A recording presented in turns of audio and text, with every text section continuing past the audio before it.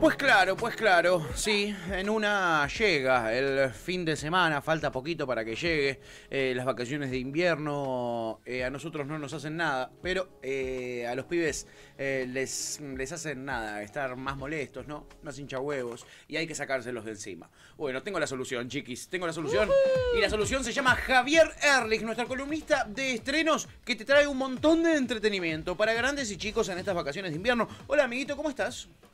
Oli. ¿Cómo te va, Patito? Ah, equipo completo tenemos. ¿Cómo Ojo, va? ¿eh? Equipo- Totally. Total. Te dejamos sin palabra.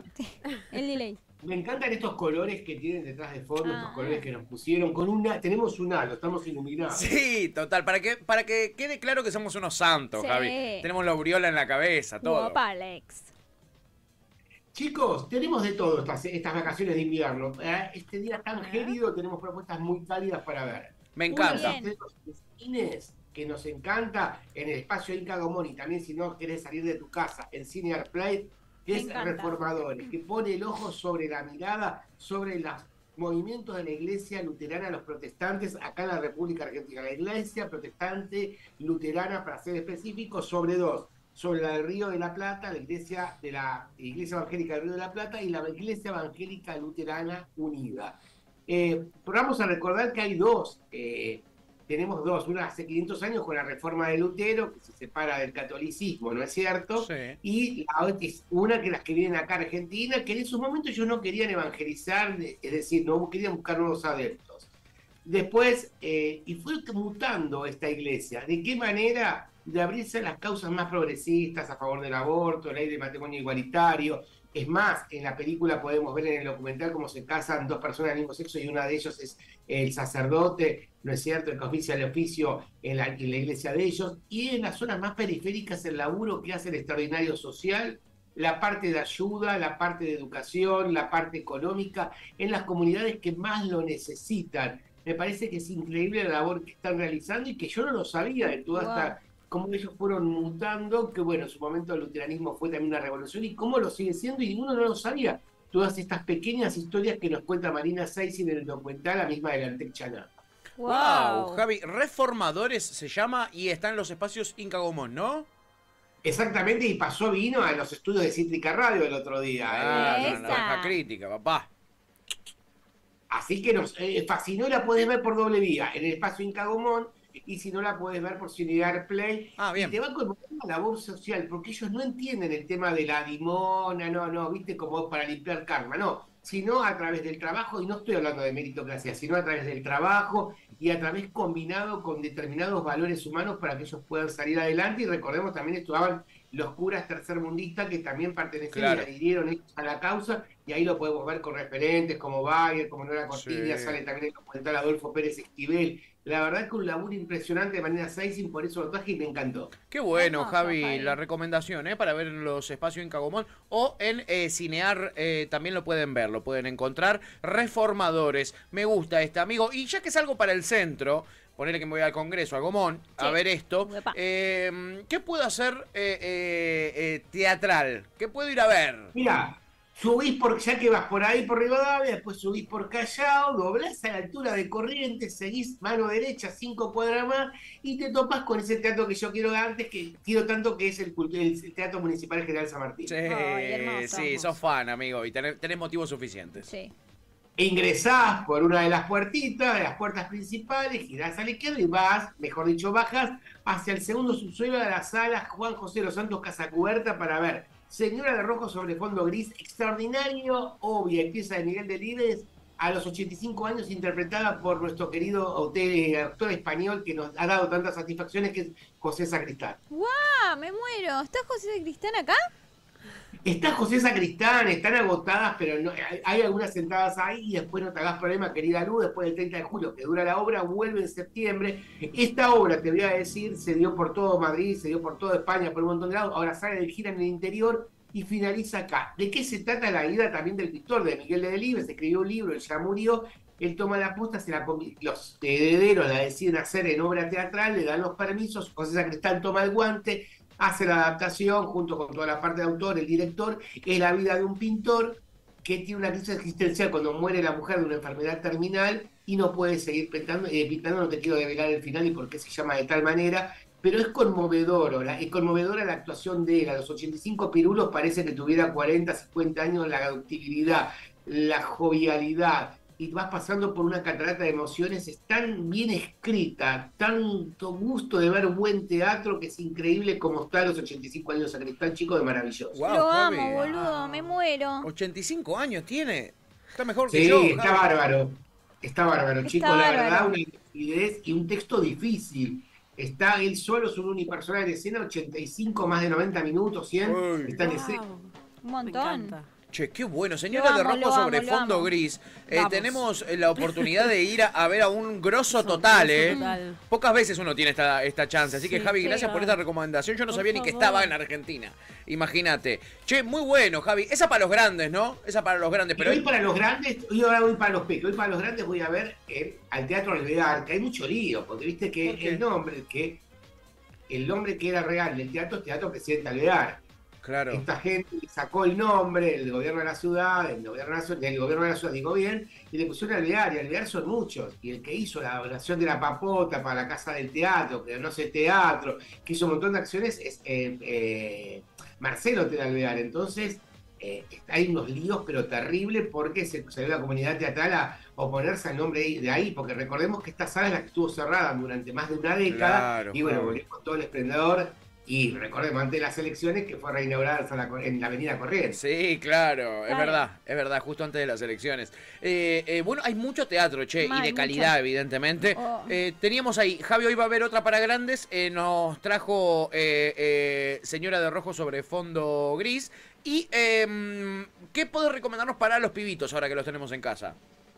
A 40 años de la democracia, a 24 años que se estrenó y a 40 años que cumple el grupo Vocal 5 con Raúl Oliveira, que es el director, vuelve esta obra que fue escrita para este grupo vocal. Recordemos que antes eran, ustedes son muy púberes, muy pubertos, en su momento tipos como Opus 4, Cuarteto Supay, que hoy no abundan, no son esos coros cuando vos decís que cada uno canta una parte, que son los, los cánones, Sí. los cánones que son los coros a varias voces, bueno, esto es lo que hace esta gente y lo hace maravilloso, Wow. y en teatro para todas las infancias y para chicos y grandes, podemos decir, que están en el escenario del Centro Cultural San Martín. ¿Cómo a partir de distintos objetos podemos volver a lo lúdico, a lo recreativo, sin la intermediación de nada, nada más que a través de un balde, a través de un sifón, a través de diferentes cosas, a través de una escoba? Podemos recrear ese mundo de chicos de cuando los papás se iban a dormir y nos dejaban en la hora de la siesta nosotros solos. Que son las canciones más pegadizas de Hugo Midón y de Carlos Gianni. Me parece objetos maravillosos que son increíbles de una cumbia, desde, desde una, un tango, un folclore, una ranchera, cómo componen y bueno, y están bárbaros. Y fue, vuelvo a repetir, ahí estamos entrevistando a mi querido, que fue mi, mi maestro de canto, Raúl Oliveira, en la escuela de Esteban Mellino. Mira, Así que era, él era muy jovencito y yo también, y ahí tenemos a Vocal 5, que bueno, el director sí está.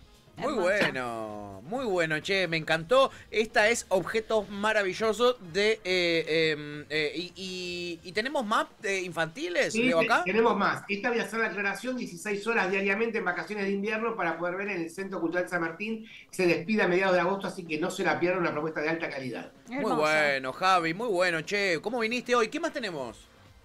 Y si querés, podés enchufarte un poco, Pato, está ya jueves, está, Sí. ya se viene el viernes. Me viene Te digo, el. Club Desenchufados, para poder ver en el Centro Cultural Cole, se los traigo chicos. Sí. Este día sábado tenemos unas dos, una función a las 17 horas, mejor dicho, que proponen juego, que es una propuesta interactiva para los chicos y desenchufarte todos los dispositivos durante el tiempo que dura la función y invitación a la vida a cambiar de hábitos y volver a, la- a jugar a la mancha, a jugar a la pelota y a través de diferentes juegos trabajar con el, cuerpo, juegos con pelota, jugar a los superhéroes, jugar, volver al juego, la interacción con el otro y no la interacción a través de una computadora, una pantalla o un videojuego. Esta es la propuesta que es tan espectacular, este grupo que ya tiene varias temporadas y que viene este tercer eh, espectáculo, es una recopilación de sus mejores momentos. Está nuestro amigo que también tenemos, que Cato lo conoce, es Nico Cúcaro, que es uno de los Sí. protagonistas. Muy Hermoso. bueno, desenchufados, ¿dónde, ¿dónde podemos ir a verlos? Centro Cultural Conex y después Bien. seguirlos y clubes desenchufados en el Instagram que tienen también funciones sin pilar y todo, pero la más cercana es en el Centro Cultural Conex que la tenemos este día sábado a las 17 horas. Che, qué bueno, qué bueno. Bueno, los pibes entretenidos, pero yo me quiero entretener también yo, Javi. ¿Tenés una serie o algo para mí? Y ya te conocemos, parte, parte de tu una religión, podemos decir, esta nueva serie de tres capítulos de Mariano Rosales, que estuvo también el otro día conversando con nosotros, uno de los guionistas y Sí. protagonistas, que la idea es conocida. ¿Qué pasa cuando se muere un padre? Se juntan, pero en vez de hacer un velorio, se juntan en la casa de el suegro de una amiga para poder hacer y hacer una tipo de despedida o tipo un reencuentro entre hermanos, entre parientes, entre medios hermanos que están enamorados, una situación desopilante, pero en ritmo de comedia.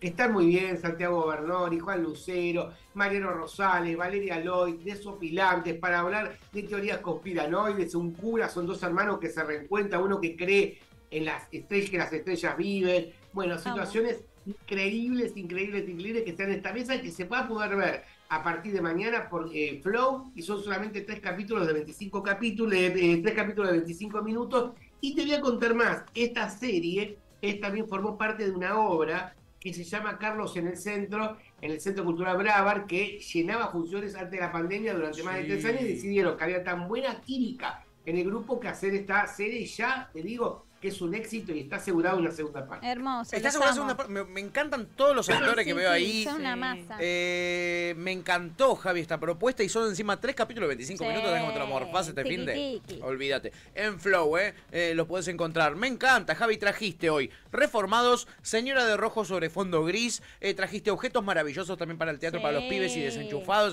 Son, son los dos para los peques, los que no saben qué hacer con los pibites. Y eh, una serie que es parte de una religión que va a estar en Flow a partir de mañana. No la vayan a buscar hoy porque no la van a encontrar. Lo que sí Chicos. puedo. Sí. Disculpen que los interrumpa. Lo mejor que estas propuestas infantiles no son caras. Porque no Claro, todo el mundo Javi. paga Claro. 12 lucas una matila que está espectacular, pero no todo el mundo tiene esa No, papota, boludo. una versión para el nacional.